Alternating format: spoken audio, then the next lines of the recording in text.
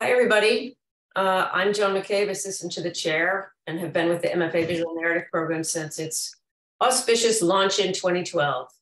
I'm honored to have been recently elected story godmother, although admittedly running unopposed. A warm welcome to every, everyone, and we appreciate your time and your focus tonight. The MFA Visual Narrative Program is the managing department for the Riso Lab, and we're excited to let you know more about all the spring offerings.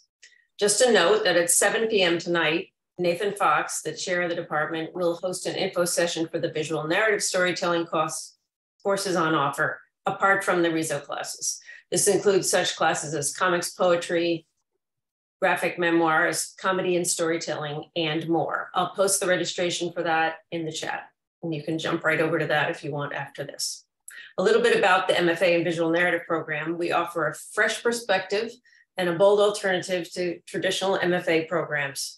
We do so by recognizing that a command of story is the most powerful and fundamental foundation that an artist can have in any creative profession. We approach this through multidisciplinary study ranging from character development with a theater director to world building with a game designer to the foundations of visual language with experts in children's books, branding, mapping, film, and photography. We welcome students from diverse backgrounds, including those without standard art training. A bachelor's degree in any area is acceptable. We're low residency, that means that during three summer intensive semesters at SVA in the heart of New York City, you attend courses supported by a network of industry and market experts. Throughout the four semesters of online study during the fall and spring, students are able to work remotely and travel without having to uproot their professional careers and family or change their personal lifestyles. I'm here tonight to kick off the continuing education presentation, but I welcome any inquiries about the full MFA Visual Narrative Program as well. You can drop me a line at mfavn at sva.edu and we can arrange to talk in depth after tonight. We're very proud of the broad range of continuing ed offerings and thank Pan for his work bringing the Riso Lab to a prominent place in the printing community worldwide. And now I'll introduce you to Pan, who will launch the evening's festivities.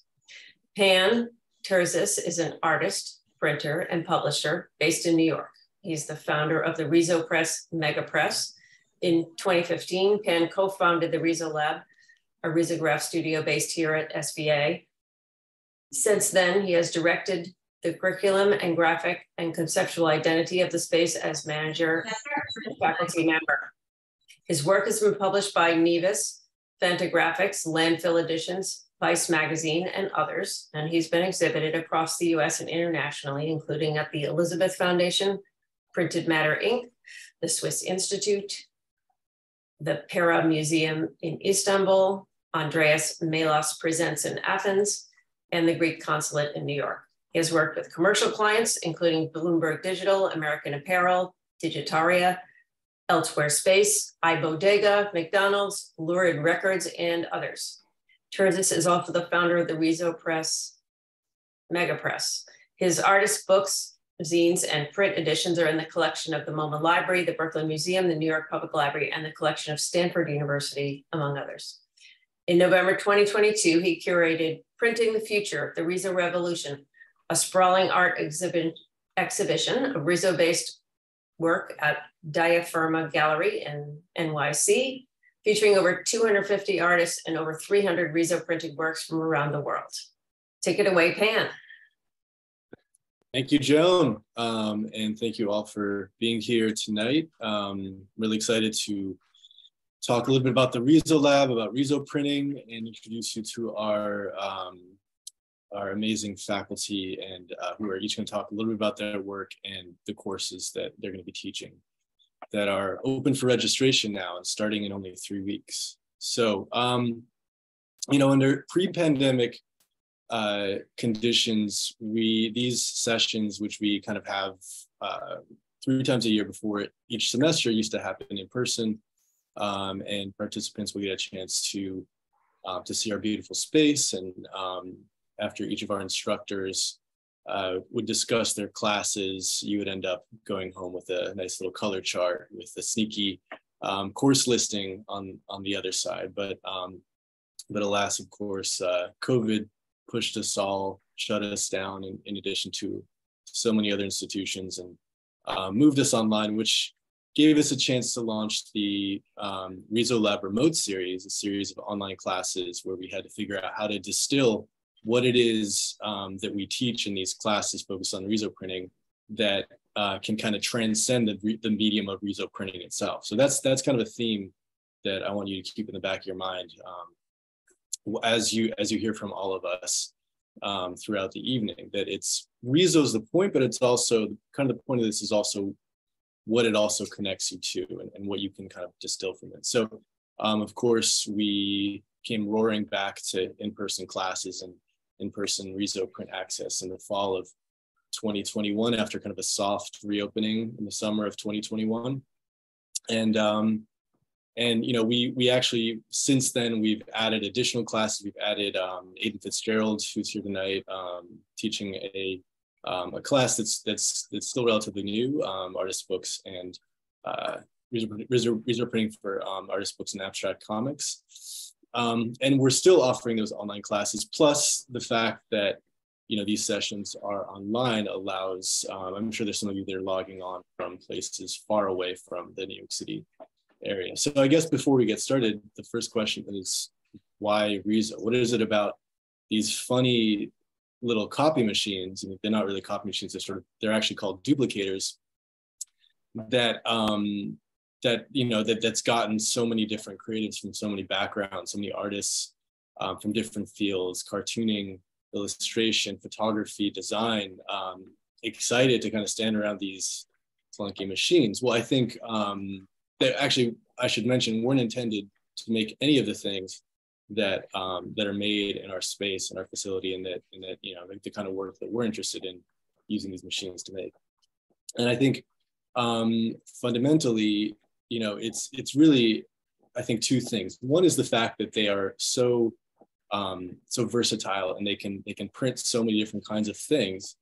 Um, and part of it, I think, is also the range of colors that you're able to achieve, um, that you're able to use with Riso printing.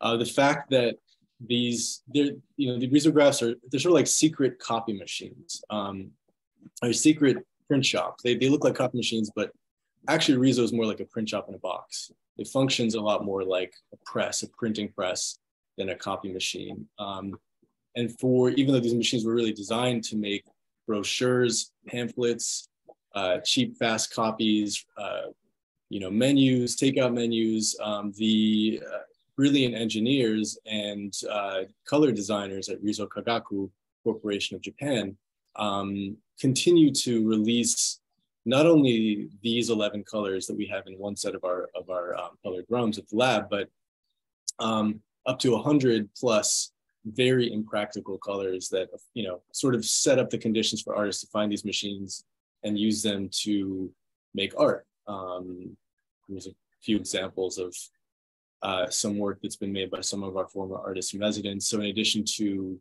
the obvious application of Riso for graphic art, um, illustration, comics, um, and so on, it can also be applied to photographic techniques. Here's a CMYK full color print by one of our former artist residents, Pixie Lau. Um, beyond just making prints, beyond making publications, there's so much more you can do with this in addition to um, that, including installation work. So the Riso Lab is a space that I was invited to start um, to help found by the chair of the MFA Visual Narrative Program, Nathan Fox, um, the program that Joan so eloquently described right before she introduced me. Um, and he reached out to me in the summer of the, uh, the spring of 2015 um, with the interest of starting a space at the School of Visual Arts that would take this medium, um, which, you know, uh, different artists had started to use, and there was awareness of this medium um, as a as a tool for for for you know small publishing, publishing small editions of of, uh, of zines and prints, and make it available to the SVA community, but also uh, to the general public at large. So he reached out to me. He was referred to me by um, as someone who knew I had started using Riso printing my work, and we in 2015 in the fall um, with just a few classes. We rapidly expanded um, to offer additional classes every semester, additional faculty, um, and continue to grow. Um, you know, adding graduate classes, adding graduate workshops, um, adding an artist artist in residence program, and uh, you know it's it's sort of amazing how much our space has grown um, not only as a facility and and and in terms of our course offerings and what we provide uh, what we make available to our students as a, as a place to to create work but also um, as a space that can be used as a production facility by students that have taken a class. So after you take a class at the Riso Lab you can come back and pay a lab access fee and continue to use the space. Um, the idea of the Riso Lab is we wanted to kind of chart a middle path um, that, that was going to be different from the way Risos have, have been sort of deployed in educational facilities. So either, you know, from what I know, um, no other institution is trying to do what we do, which is um, we provide very intensive training. We require a full semester course, a full, you know, nine or 10 week course in the summer um, uh, or fall or spring um, before students can then use our space um, to, to print. Um, we have an open lab access uh, schedule. So outside of class time, students that are enrolled in classes and those who are um, have paid for open lab access pass are able to book time on our machines um, and basically run the machines themselves. So they're able to really experiment um, with the medium, there's no limitations on how many prints and masters they can make. So the printing is unlimited. It's a flat rate. We didn't want anyone to be hampered by that. Um, and the way that works is that everyone really goes deep into the medium uh, from a variety of different approaches, depending on whose class you take, um, whose experience you benefit from, because we're all basically, you know, anyone using Riso even today um, is a pioneer in the medium because this is really uncharted territory. Um, in addition to uh, our very busy, bustling semester with our full course load of, uh, I believe we offer now five continuing education classes, two undergraduate classes, and um, you know, two boot camp training workshops, various graduate workshops. Um, at the end of the semester, after all of this printing and publishing and and you know and trimming and binding activity, we cap off the semester with a print sale that in, in, an exhibition, which is really open to anyone using the lab. So the print slam um, is a really special event where we take anyone's work who wants to, anyone who made anything that was Riso printed at the lab will take your work and will sell it for you. Um, and you get all the proceeds. And it's sort of like a one day pop up sale. Um, and really, it's amazing to see. It's an incredible event um, in terms of just getting a sense of what was made that semester because the, the range is, is really all over the place. So um, that's a little bit about the Riso Lab. We are coming up to the end of our eighth year as of this fall. We will have been around for eight years. Um, 10 year anniversary is is creeping ever closer. So, and um, and yeah, in addition to because we don't have um, because you know I should say another another question people always have is, is, whether they can take a class if they're not an SVA student. And of course, tonight is all about our classes that are open to the public. So um, because most of the people using our space are artists that are working in the field and using our facility to learn the medium, learn the process, and you know use it to make their own work.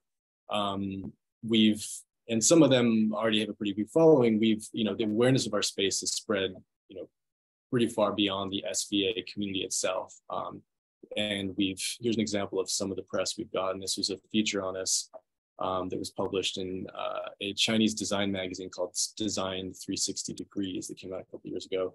You can also check our, our website um, to get a sense of some of the work that's been made by our students. We have a um, a gallery of student work and student work by students, faculty, and artists in residence that was printed at the lab that we're kind of we're trying to constantly add to to really uh, showcase the diversity of what you can use these machines to make. Um, and that's a little bit about the Riso Lab. Um, in terms of my own work, uh, I am a painter.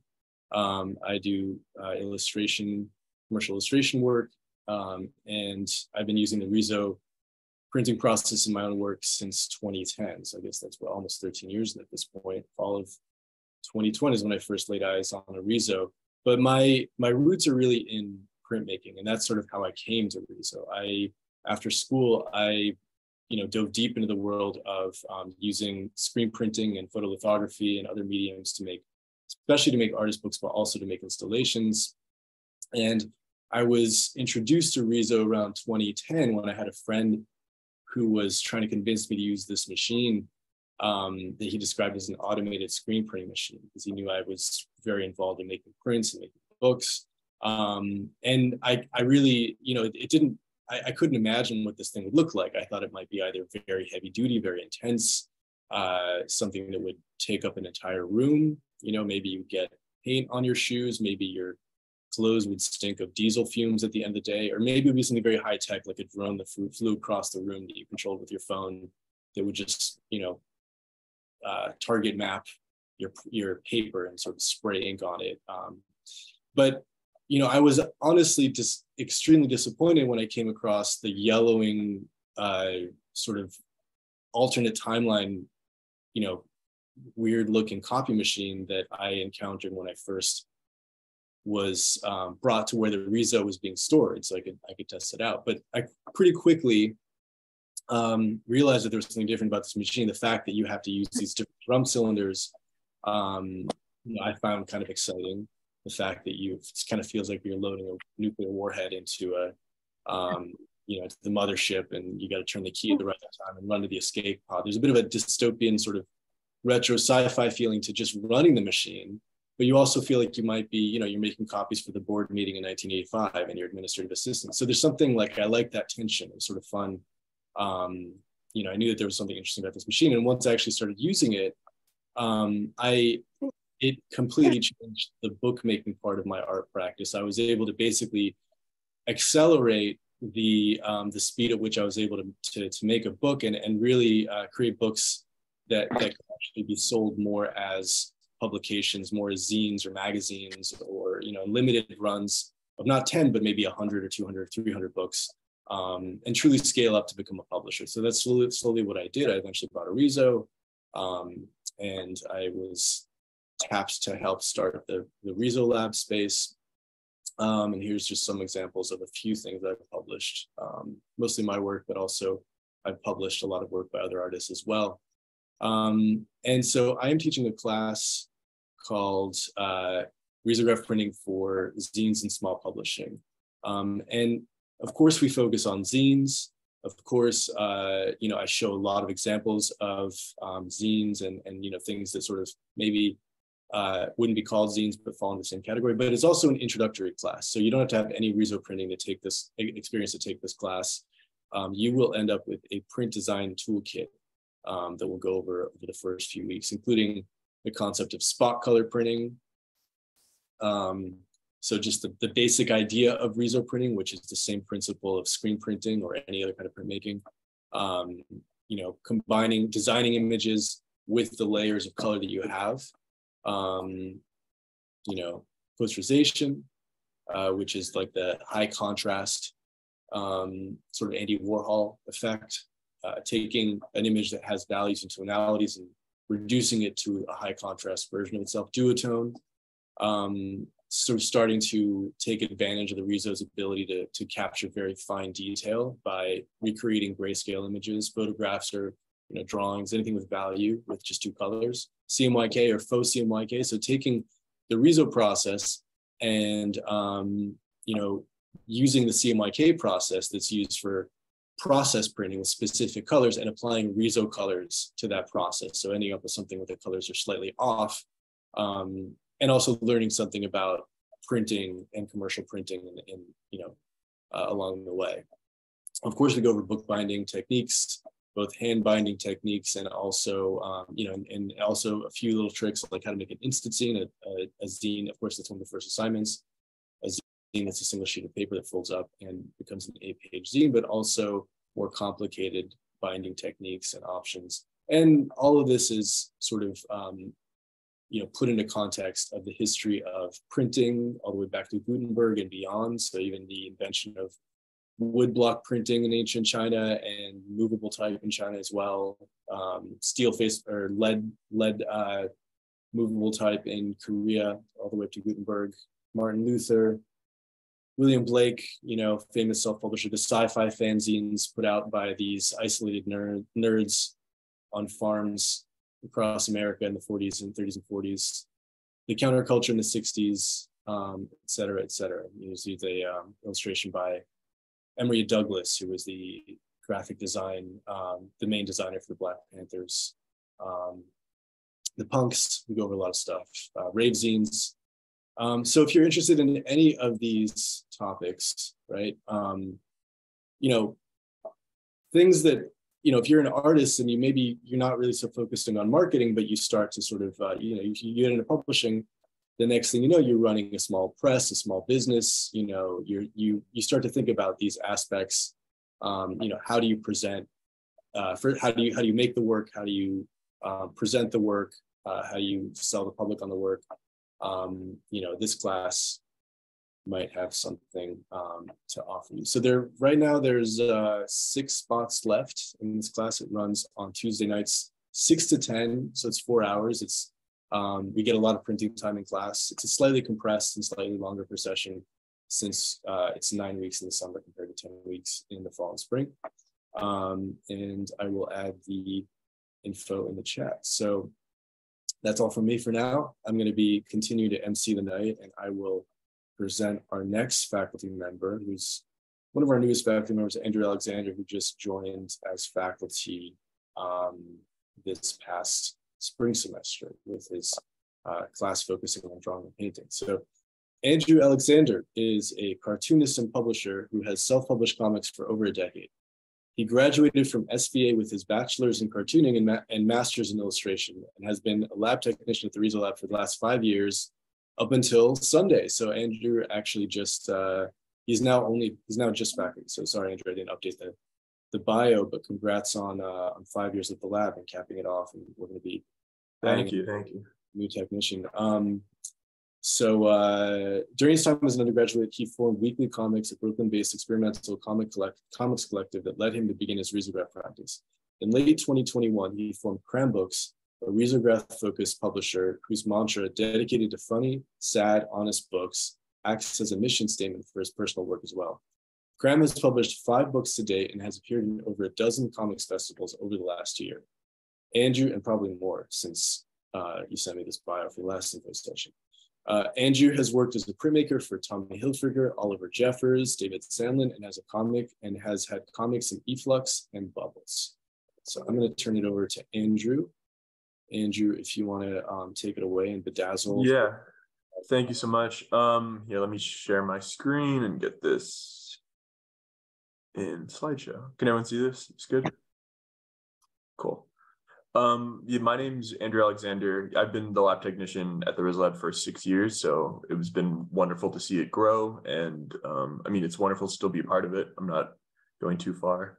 Um, my class, which is new class, I the first semester was last semester's spring that we ran it was is Riso printing for drawing and painting.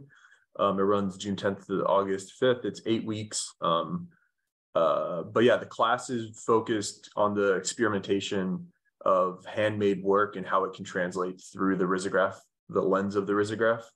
Um, uh, the the risograph it's called a duplicator, and it's kind of something that I've always been at odds with. There's a, a distillation between what you actually make and what will actually come out of the risograph, and the class is hopefully focused on expanding everyone's already existing practices by printing through the risograph. Um, uh, this is like the the course write-up of my class. Uh, drawing is a universal visual language. In this course, students will create artwork using the risograph by way of hand-drawn images to create a new expanse of possibilities from their work. Both new and old work will be used to extensively explore the palettes and textures and capabilities of the risograph process. Experimentation with a wide, wide variety of tools and techniques to develop a language of mark making will be encouraged. Students will use risograph print process to make new work and reproduce previously created projects. A new practice will emerge from the discoveries that occurred during, during this process. In-class experimentations, discussions, assignments, and critique will culminate into a handmade zine project. Um, basically, it's an eight-week class for the first four uh, weeks, we will be doing drawing exercises and um, we will be learning the basics of the risograph. Um, all of the classes at the Riso Lab will teach you how to print and how to uh, print spot color and how to print CMYK. And um, I think what makes my class different is a, it's a really a focus on uh, this this CMYK and this um, full color printmaking process. Um, this this right here is a uh, a codex that I made. It's based on the Mayan codexes. Uh, it's based on the story, uh, the circular ruin, and it was printed with four colors, but there was no black, and instead I used purple, and uh, I used teal instead of blue, so I create a lot deeper greens, and uh, a different palette kind of emerges out of um, using different colors instead of the traditional blue, blue, pink, yellow, black. Um, yeah, the the course is focused on experimentation. First week it's all mostly drawing, and then the back half we will be experimenting and making experimental books, uh, print projects, posters, and um, various other things. Um, yeah, I'm I'm just going to show work that I've printed. Uh, this piece on the left was one of the first pieces that was trying to get these subtle tones as kind of an experiment. When I started the lab, uh, maybe like the first few weeks, I wanted to see how subtle I can make colors and how rich I can make them by by making dense overlapping five color prints and and really trying to push the capabilities of the risograph. Because at the time most books that I was seeing were were uh, flat color blue and pink zines um, that that were thinking about the risograph differently almost like a silkscreen machine um, where I was trying to approach it more like uh, like it's a lithography or an offset press that can capture these subtle tones. Um, this is uh, spread from Cram Comics number one, uh, the flagship title from my publisher. Um, this is by my friend Max Huffman. Uh, this is Ray Huang. Uh, it's a zine of sketchbooks. Uh, and so there's like different elements. So there's stickers and there's paintings in it and there's uh, all types of things within a sketchbook. So I wanted to see how far the risograph can represent images. Um, and I think it came out wonderful. Uh, it's Cram 2, second issue of Anthology. But basically, there's a wide variety of palettes and, and textures that you can get from the risograph. And uh, the goal of the class is to explore it, even if it's just black and white drawings or full color drawings. Um, yeah, I went over the class structure. Uh, yeah, the goal is to end with uh, a zine that kind of culminates all the learning and teachings into like a, a zine that has notes and experiments and, and kind of pushing your practice further than uh, it already was. Uh, the the I, I I'm not trying to. I want people to bring their own practice in and come out with something new. That's really the goal. It's similar to a printmaking class that I had uh, across the street at the Silkscreen Lab where it was more about process and uh, seeing how far you can push something than um, me teaching you specific Photoshop things. Um, yeah. Goals come away to class with a core understanding of the process, a zine containing experimentations and notes, and hopefully desire to continue making risograph work with us over at the Riso Lab. Um, but yeah, thank you so much for having me. Um, my class is June 10th to August 5th uh, yeah, that's all I got. Back to you, Pan. Thanks. Thanks, Andrew. Um, and I've been, if you want to check, uh, for those of you that are interested in signing up immediately right now before the session's over, um, if you're already convinced, uh, I'm, I'm, we're adding links to the classes in the chat. So there's a link to, to Andrew's class. There's also a link to um, the Cram Book site if you want to check out more of more of his work and stuff that he's published. So um, next up, we have Wren McDonald, who's showing proper Riso um, workflow and, and, and practice. Um, Wren McDonald is an illustrator, cartoonist, and editor based in Hudson Valley, New York. He's the author of the cyberpunk epic Sparks and dystopian revenge comic Cyber Realm, as well as several other self-published mini comics, including the series Precinct X99. He edits the award-winning comics anthology X-Mag for Peow and has worked on visual development for animated shows such as The Midnight Gospel. Where commercial clients include Adidas, The New York Times, Wired, Vice, and more.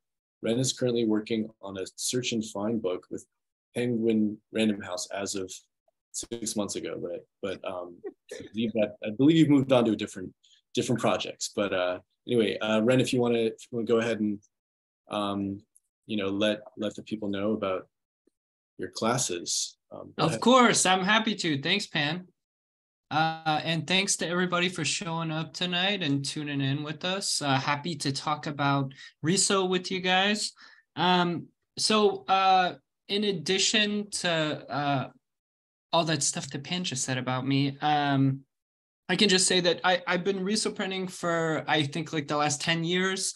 I first got into Riso uh, around like 2012, 2013 uh, through some like indie comic zines that I had bought online. And I was like, this is it. This is the stuff. Uh, so I hopped online. Um, fortunately was able to find a risograph. Uh, I was living in Florida at that time. I fortunately was able to find a risograph that uh, I ended up buying uh, and just fell in love with the medium, uh, with the uh, tactility and the vibrancy of the ink. Um, and just the fact that like you can be your own publisher with the risograph you know. Uh, you can uh, it's it's really a great diy tool. Um, but yeah so so i make comics um, i do illustration uh, commercially uh, i make a bunch of prints and stuff like riso prints and stuff like that. Um, but uh, i'll just run through the classes that i teach uh, quickly. The mini comics class that i teach it's called mini comics from page to production uh, and in case anyone doesn't know, mini comics are comics that are typically self-published, handmade, uh, and are on the smaller side. So it's comics meets zines, right? Um, and mini comics, I've I've always just really loved the format a lot. Like I'm a big fan of just DIY stuff. Um, I like that. Uh, a lot of times when I'm reading a mini comic, that's coming straight from like the artists, the artist's uh, mind and their hand to my hand and mind, and I think that's that's a lot of fun. Um, I just love handmade stuff. I love DIY stuff. Um, so mini comics, it's it's it's really great for that. Uh, and in addition to all of that, it's a great place to experiment uh, when you're working on comics. Uh, so as opposed to like working on like a, a book length comic project that's you know like 200 pages or something that's going to take you like two years uh, mini comic you can really like take risks with you know uh, and that's what I encourage students to do in the mini comics class. Uh, but the mini comics class, it is quite structured uh, because the goal uh, at the end of the class is to have a finished mini comic. Uh, and comics, uh, they're difficult, they take a lot of time. Um, and so I designed the, the course to be very structured, to kind of give everyone tools to easily go from point A to point B uh, and have a finished mini comic. So this is the step-by-step process that we follow in the class. We start with ideas, outlines, uh, thumbnail sketches, rough art, final art, color setup, uh, printing, and finally binding. Um, along the way, we also discuss risograph printing basics. So uh, that's going to be like analog printing, printing from the glass, uh, limited spot color printing, multicolor printing, duotone printing, FOCMYK printing. Uh, and then we are going to talk about zine basics as well, uh, just because, you know, like I said, many comics are zines. So uh, that will be assembling, uh, cutting, binding, all that stuff. Um, what we'll create throughout the course is uh, single sheet zines. Um, we'll start out with that just to get everyone some experience on actually making something um, and uh, a variety of prints along the way while I introduce the new techniques to you. Uh, but the, the main focus of the class is a 12 to 20 page mini comic from start to finish. So uh, the structure, it's 10 sessions long. Uh, I would say it's a 60 40 split focus on comics and riso. Uh, so each week when like, for example, the homework will be come in with an outline of your comic or be, uh, or come in with thumbnail sketches. You'll bring those in that class and as a class we'll discuss uh, and you, so for example say you thumbnailed out the first four pages of your comic uh, and you feel really good about it but you're stuck on something. And so that's where the the class as a whole can really uh, help you out and you can get some feedback uh, and it can help you to continue working on your comic. Uh, the first half of the class is a bit more rigorous, focusing on technique and discussion. The remainder will have more of a focus on completing your mini comics. and by the last class, each student will have a printed, uh, will have printed enough copies of their finished mini comics so that everyone in the class can have one. So that's always fun. Uh, this is an example of some student work uh, from the past, but it's always fun coming in the last day of class. Uh, everyone has just like stacks of their finished mini comics and we all trade and everyone goes home with a stack of mini comics to read on the train home, which is really fun. Um and and yeah it's fun. It's fun. So like i said comics is hard work but it's fun. Uh we're gonna get our hands dirty. We're gonna experiment. We're gonna learn about this technology in the lab of Riso uh and yeah it's gonna be fun. Uh and here's the the specs and i'm sure there's a link in the chat. Uh and the other class that i teach that i want to discuss is Riso printing and introduction. Oh actually before i move on to this uh so i i talked about uh, my mini comics class being very like structured and narrative based. So I do teach from a perspective that um, uh, encourages the cartoonists and the students that sign up for the class to take a narrative approach to the comics. So if that's not your bag, I really recommend Aidan's class, which is art books and uh, abstract comics. It's a really, really great course. Uh, Aidan's great. He knows a lot about Riso. Uh, he knows a lot about art books. Um, so if you want a less uh, structured, less narrative approach, I really recommend checking out Aidan's course. Um, anyways, back to my uh, Riso printing and introduction class. Uh, so uh, this is where students can sign up to learn a wide range of Riso techniques and how to apply them to their practice. So the focus of this class is more technique driven uh, as opposed to mini comics class where it's all uh, learning the technique with a specific goal in mind. This is more so about diving deep into all the techniques that you can use when you're risograph printing. So analog printing, spot color printing, uh, multicolor printing, duotone, posterization, Foci YK. Uh, we're going to talk about zine basics. And I also get in a bit into uh, community uh, in this class because I think um, Risograph printing, like I've said before, it is a DIY medium. Uh, and with DIY always comes community. Um, and so I, I, talk about how to uh, engage with the, the thriving risograph community here in New York, uh, and also uh, talking about stuff like uh, exhibiting at art book fairs uh, or indie comics fairs, stuff like that.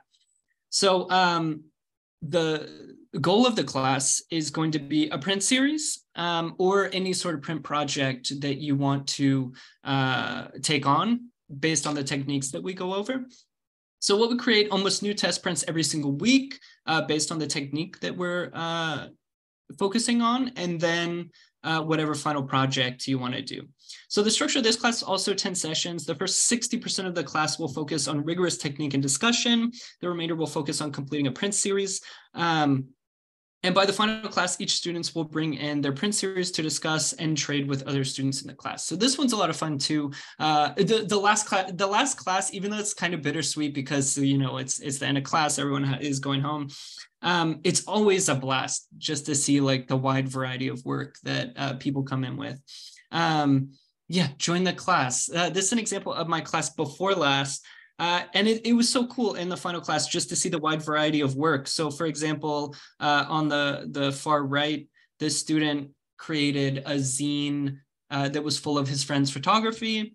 Uh, this student here created an accordion book of uh, some digital art. This person created a set of trading cards. This person created a calendar. This person uh, wanted to translate their painting work into risograph.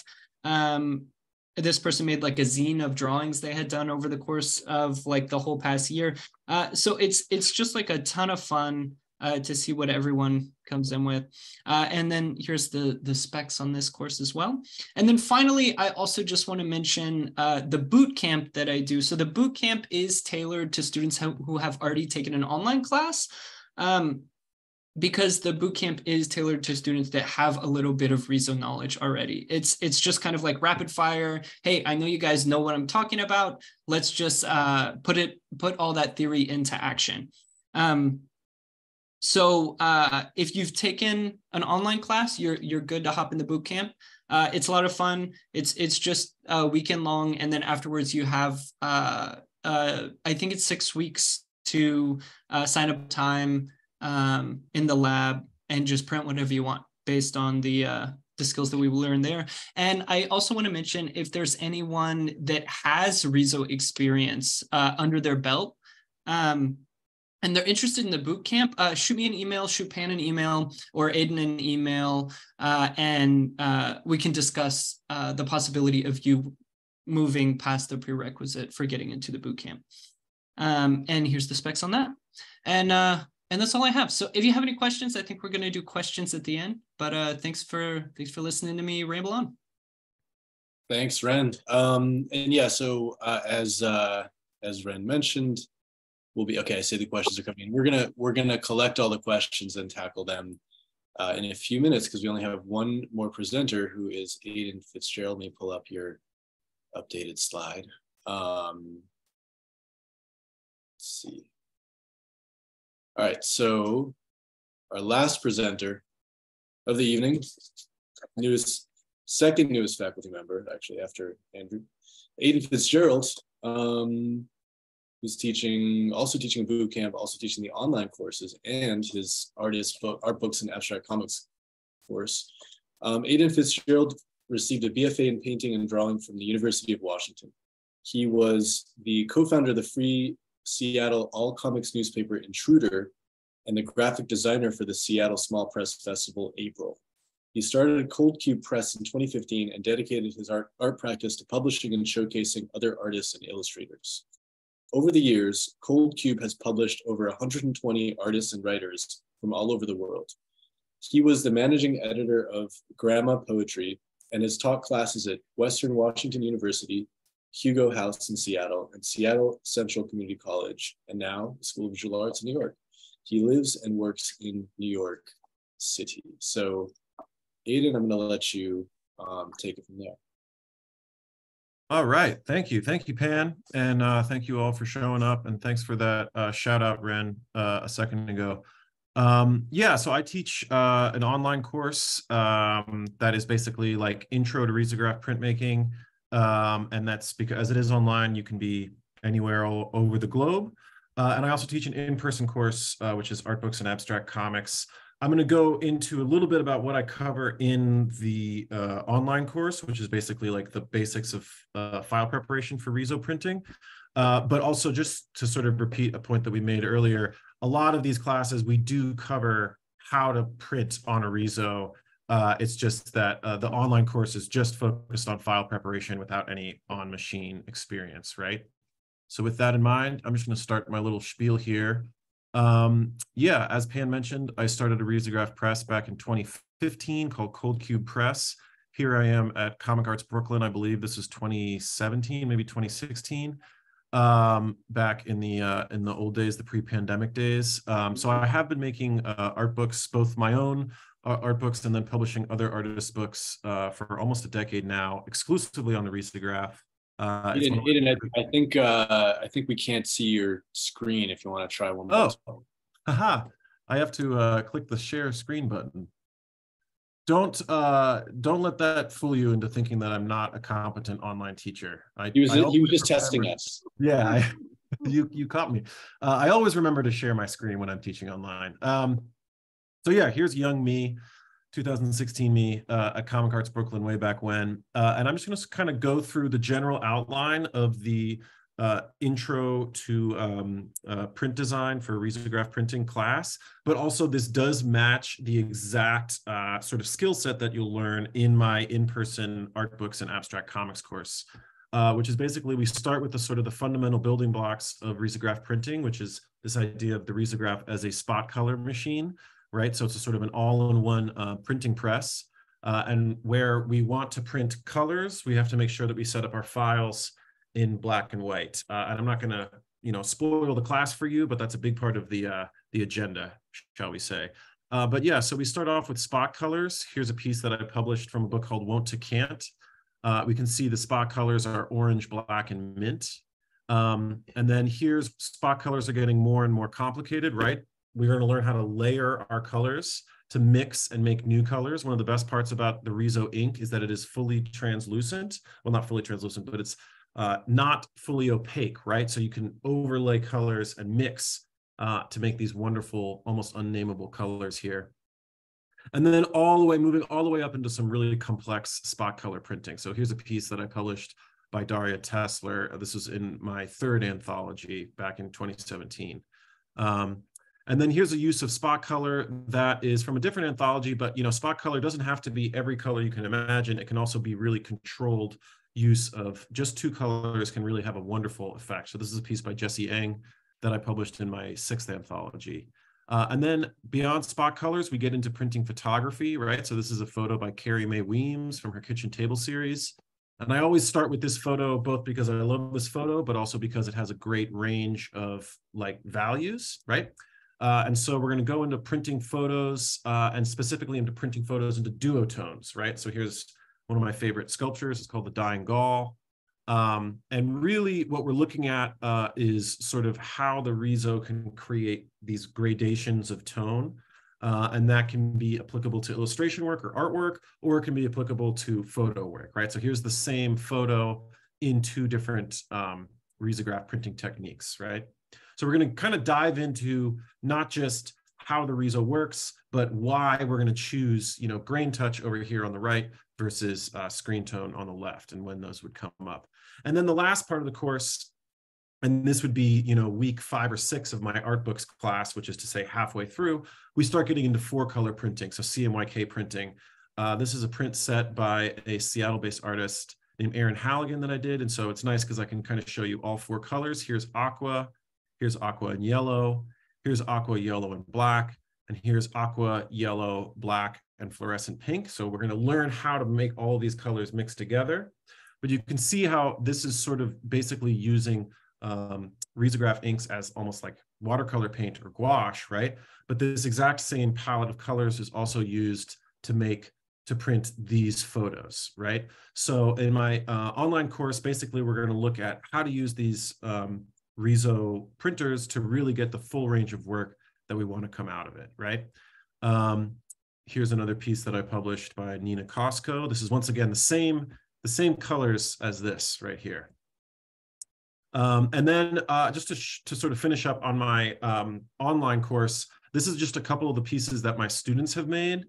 Um, and all of these students had absolutely zero experience on the Riso before uh, they set up these files um, to be printed. And so they came, you know, if you if you have no experience with the Riso, or even if you have no experience on Photoshop, um, this is a great way to learn not only how to set up files in Photoshop, but also how to sort of set up all types of printmaking um, from the computer to, you know, go from your your handmade image or maybe digital illustration to something that is print ready. Um, and like I said before, all of these techniques will be covered in my art books course. Uh, but because my art books class is in the print lab, uh, we will also be printing everything as well. Whereas my online course is just about how to set up our files, right? So I do have two sessions of this course. The first one starts um, first week of June and goes until the second week of July. And the second session starts the day before, July 11th, goes until the second week of August, right? So um, first session is on Wednesdays from 7 to 9 Eastern Standard. Second session is Tuesdays. I don't know how long y'all plan your summers. I cannot plan anything in July, in May, but you know maybe you're more confident than I am in those regards. Um, but yeah, so this is my online course. It's perfect for people that are uh, not in New York City, of course.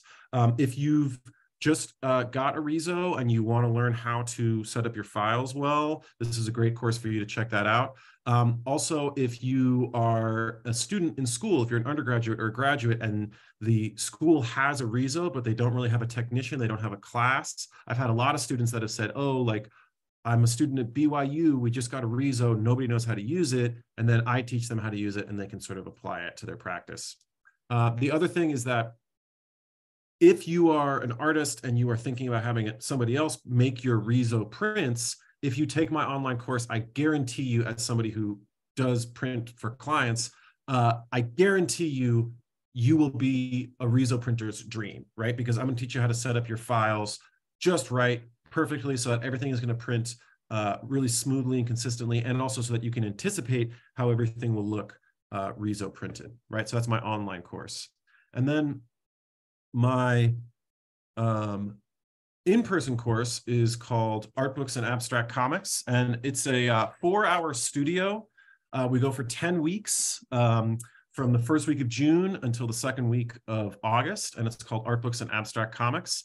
And we cover everything in in the class that I just went over on my intro to print design for Riso, but we cover it in person. And as you are in the Riso lab, you have the opportunity to apply what you learn directly onto the machine every day.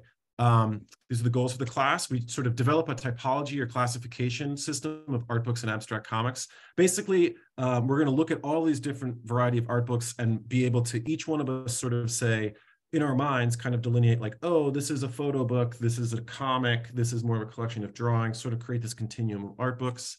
Um, understand the numerous possibilities of art books and abstract comics, learn how to apply these concepts to our broader art practice. So kind of like what Andrew was talking about with his course, uh, this is a great class if you already have an art practice. You don't necessarily have to have one, but if you already have a way of making work, uh, this is a great course for you to sort of experiment with new ways uh, of producing that and experimenting with making books with that um, compile a body of work into several publications from start to finish.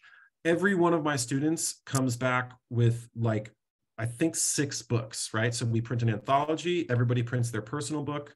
There's a grid book, there's a collaborative book, there's a single page book, and then there is this sort of uh, mystery book, which I don't want to give away, but it's sort of like a, a collaborative, almost an exquisite corpse type thing. But we make a lot of books uh, in my class. Um, and every single week, you will have time on the printer. So, especially this past quarter, uh, when it was really busy in the lab, I know a lot of my students were really thankful that uh, it's a four-hour studio, so they could have, uh, you know, a lot of time on the machines each week. Uh, each week, I bring in um, books from my collection of art books. So these are all books that I bring in. At the beginning of the class, we just look at books for like 15 minutes, and students can ask questions. How did they do this? What is that color? you know, why don't we have Kelly Green, et cetera, et cetera. Uh, and uh, we sort of jump off from there. Each of the books that I bring in pertains to whatever we're learning that week, right? Uh, and also, as it is an abstract comics course, and uh, ab the word abstract is in the title, I am contractually obligated to talk about abstract art and put my Bachelor of Fine Arts to use, right? So we do go into a little bit of the history of um, abstraction, or at least just examples of different types of abstraction, right? Um, this is an Eli Lissitzky piece here. This is a Julie Mehretu piece there. So this piece is from, uh, I believe, the 1920s, maybe 1910s in Russia. And this is from uh, a couple years ago here in New York. Julie Mehretu is an amazing painter. Um, we also will break down comics into their um, uh, uh, sort of abstract components, right? Because it is an abstract comics course, right? So here's a page from Astro Boy, and this is an assignment that we work on where we're basically taking a, a sheet, uh, of, like a comic, or maybe just any drawing and breaking it down into its abstract components. And then we're going to use this abstraction as a sort of a jumping off point for our own work, right? Uh, and we're also going to look at just all the different types of art books that you can make with the Riso and all these different sort of examples uh, this is a book called Signs and Artifacts that Secret Riso Clubs publishes. It's basically a collection of the sort of signs and artifacts of a specific neighborhood in New York, right? So this is Ridgewood. Um, one class, I will talk about text and image. So it gets into sort of poetry comics almost, and mostly just how text and image can interact in art books and um, all the possibilities there. And then these are just some of the assignments that I assign, right? So this is the one of the first collaborative books. This is a book on the grid. We focus a lot on the grid for one of the classes.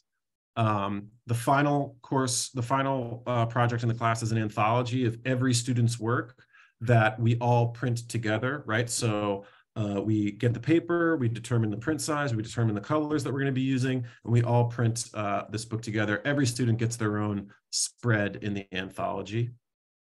And then um, every student also has a single concept art book. So basically, it's a uh, it's a personal book um, similar to Wren's mini comics course. Everybody is going to make their own personal book, and also enough for everybody else to take home. So if I have a class of you know 20 students, everybody makes you know 21, right? So one for me, one for you, and then one for each one of the other students uh, in the class. So everybody gets to go home with a lot of books at the end of the year. And these are just some of the um, uh, sort of single concept uh, books that, that we have made in the course. This is a snapshot of everybody sort of collating some work together during one of my classes. And yeah, it is uh, June 5th to August 14th. Um, like I said, it is a four hour studio. So there is a lot of printing time uh, under my sort of supervision and tutelage. I know that this is a little bit of a spicy price tag, but as it is 10 weeks, basically $7, $70 a week to um, make some wonderful books uh, under under my tutelage. So um, yeah, that's about it. Thanks, Aidan. Um, okay, so now we have time for some Q and A, and we there's already a few. Looks like we already have a few questions that are backed up. So I'm going to just scroll up to the the first person. The first Yeah. question came in. The in. first question is for me, um, from Margaret. Um, and you, you, you're worried about missing one class in the mini comics class. Um, don't be. It's it's fine. We'll we'll catch you up. Um, and and make sure you're on track. I I would really just recommend not missing the first two classes because that's when we really lay the foundation for everything we're going to be doing in the rest of the course. But uh, if if you need to like miss a class in the middle sometime, no worries, no worries. Um, and then uh, I think from Christina, I, I think there's also a question for me. Um, uh, can a newbie to Riso participate in the mini comics class? Absolutely. It's designed for beginners, uh, both uh, in uh, comics and risograph. Uh, definitely for Riso, I would recommend because we're the goal is to make a mini comic from start to finish in such such a such a short period of time. I recommend having some sort of uh, image making like under your belt so that you can confidently just sit down and draw or collage or do whatever you want to do. Um, but yeah, newbie to Riso, definitely, absolutely. Um, and then in the introduction class, can we choose our final project from binding books to accordion um, that you would like to make? Yeah, it's it's really up to you. In the intro class, your final project is totally up to you based on the techniques that I go through. Um, I do not cover a wide range of binding techniques in the Riso class. I show you the basics of zine binding. Um, but if you want to bring uh, some prior knowledge that you have uh, about more uh, extensive or creative binding techniques, uh, or if you want to go out and learn it like over the course of the class, then absolutely bring that in. You're welcome to implement any of that stuff. Um, and then also I saw there's a question about Photoshop. Uh, one thing I always forget to mention, um, but anyone enrolled in any of these courses gets uh, Adobe Creative Cloud or Creative Suite um, for the duration of the semester. Um, and in my classes, at least, I do do Photoshop demos. Uh, they are designed for Photoshop beginners. Um, uh, so yeah, ho hopefully it won't be an issue. We do print from Photoshop, but uh, if you're not a digital artist, that's absolutely 100% okay. Um, you can create all the all the work analog, you know, drawing, painting, uh, pen on paper, whatever you want. Uh, basically, you just have to scan it in. So basically, you have to digitize it, and then we print it from Photoshop. So it's as simple as that. And that and that's a really good question. That's something a lot of people um, ask. I think I think all of at least for my class, I'm happy to work with uh, beginners eh, who are you know people who are not super well versed with the Adobe Creative Cloud. I I personally think um, using Photoshop and Illustrator, these different programs, specifically uh, towards the goal of making a Riso print is a great way to learn these programs, period. And, and you can actually apply the, that approach to just, you know, other, other design, um, other design sort of workflows for, you know, for things that have nothing to do with print or Riso. Um, and, and actually, even if you do have a lot of experience with Photoshop, but not for print, you might actually have to, you know, it, might be a, a, totally different way of using the program. So, so in terms of my course, it's all right. And, you know, maybe if Aidan and Aidan and Andrew, I don't know if you have um, if you want people to have a little bit of experience or what you're I, my online courses uh, yeah I, I there's no experience necessary. And i think that i learned all of my photoshop and illustrator experience through riso printing. Um, if you don't have any experience it's a great way to learn. For my abstract comics course same deal. Uh, you can you can kind of learn photoshop um, or illustrator or procreate as we're sort of learning the, the, class. But yeah, sort of like what piggybacking on what Wren said, if you have experience like image making or like following through with the project from start to finish, that's probably the most. Uh, I think ambition and dedication are probably more important than Photoshop experience.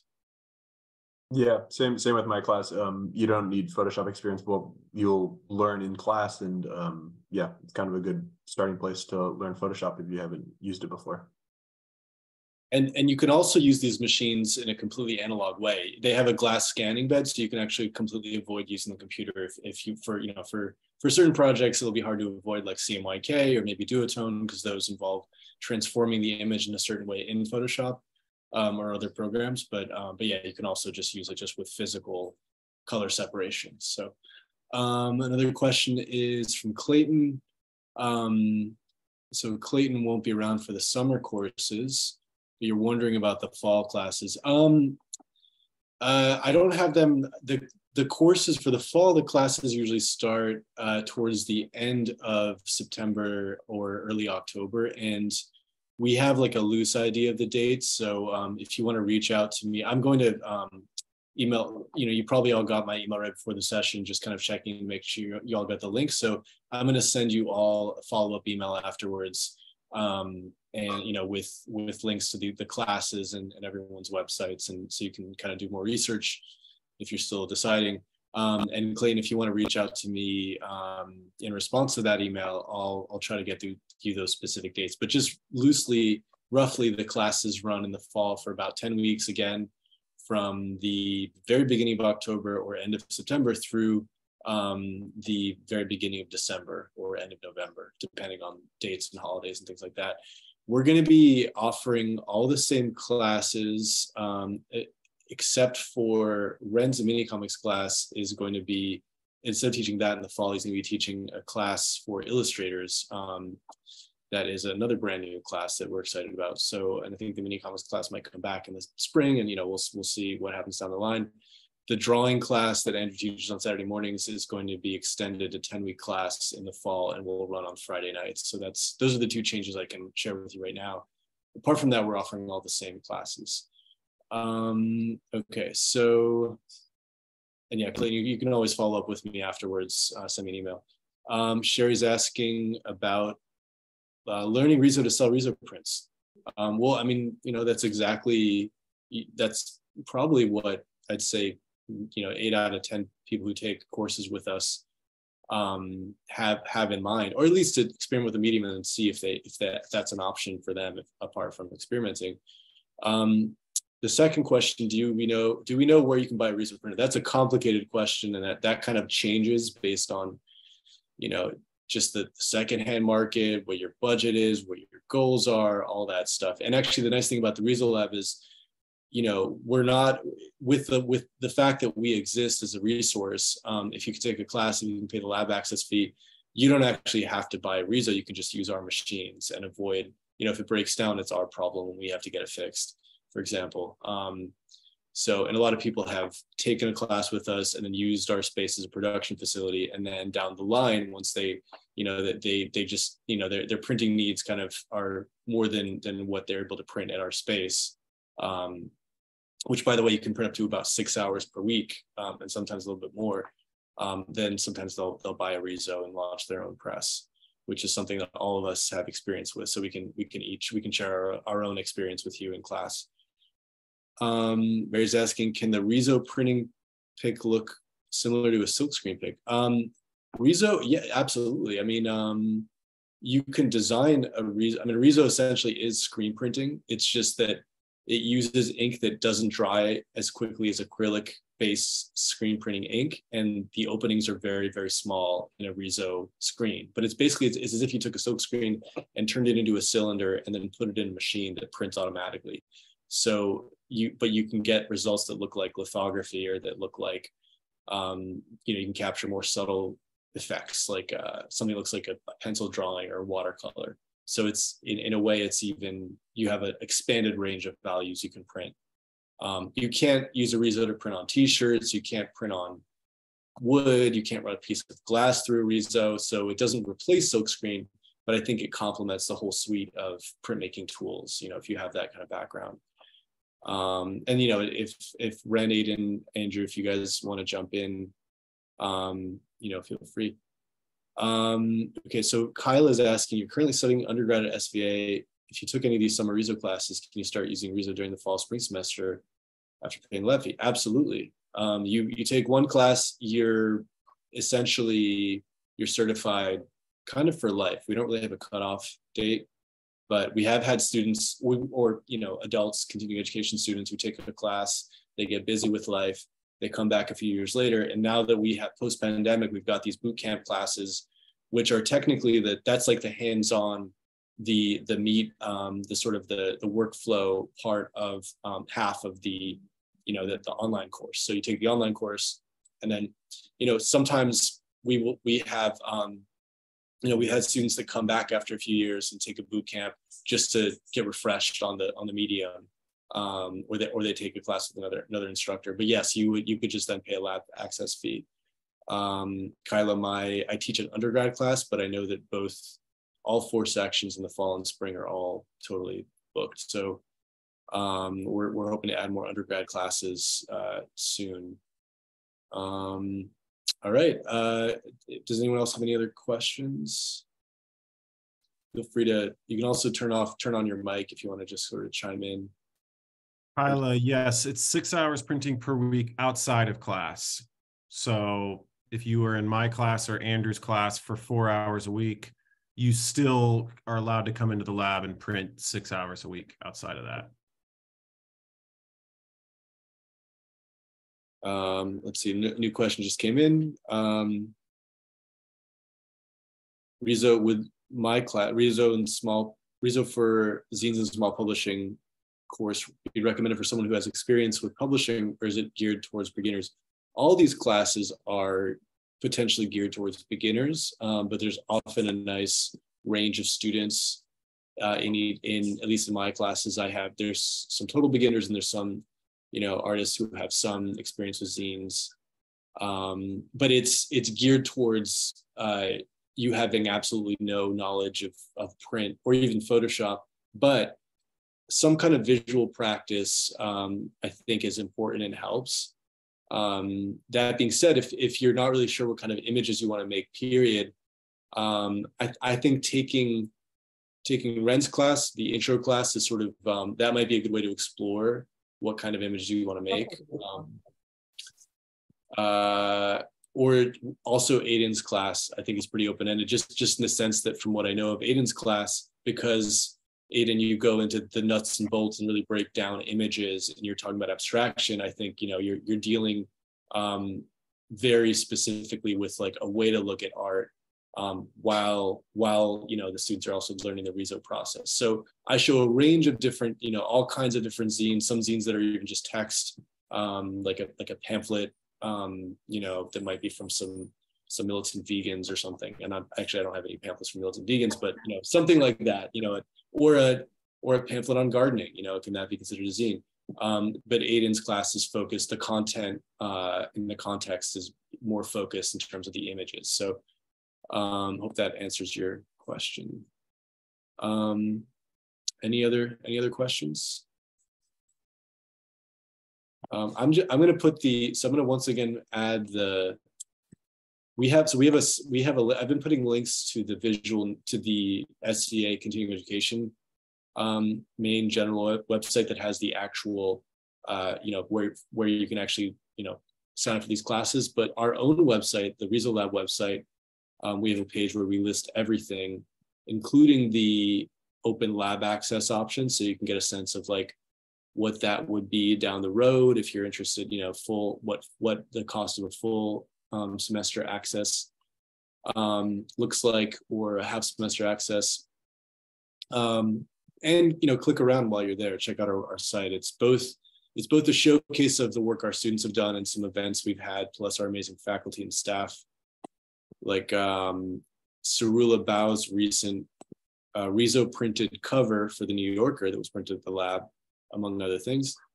Um, okay, so someone's asked, uh, if you have more questions to ask after the meeting, um, so I'm going to reach out to all of you. Um, you can respond to me. I will also add, I'm going to CC um, Aidan, Wren, and Andrew in the email. So you can just respond. You know, you'll see their, their email. You can reach out to them directly or reach out to all of us.